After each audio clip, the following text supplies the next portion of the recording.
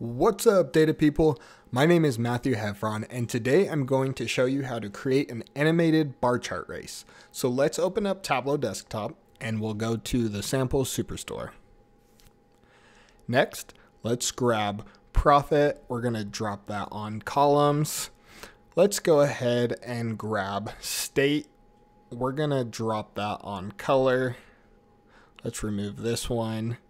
And then if you hold down your command key, Let's drop state on label. Perfect. And then we're going to create a calculation. So let's come up to analysis. We'll say create calculated field. And this is where the magic happens. This is going to be called ranking. And what this is, this is going to be a function, a rank, unique. And what we're going to do is the sum of our profit here. So type that in spell it correctly. Perfect. We'll hit OK. Next, let's grab ranking. We'll drop that on rows. What we're going to do is we're going to right click and we're going to do compute using and we're going to compute using the state. So we'll give that a click.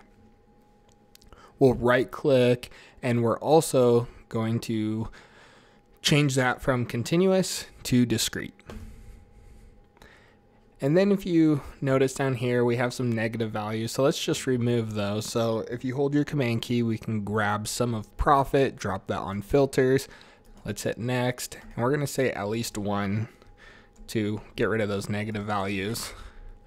Perfect. All right, almost done. So last step here, let's go ahead and grab order date and we're going to drop that on the pages shelf. Let's go ahead and hide this card. Okay, and we'll right click on this pages and we're gonna go, let's look at this by quarter. We'll scroll all the way to the top and then I forgot about this. This is, you gotta do this. If you come up here to format, we can go animations. We're gonna turn them on and let's set this to two seconds, so very slow. Awesome. And then we come over here and we just hit play.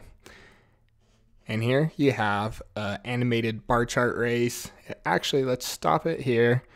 Let's make it a little bit bigger, make it easier to, to see here. And there you have it. With that said, I hope you enjoyed today's lesson. As always, don't forget to like and subscribe, and I'll see you in the next lesson.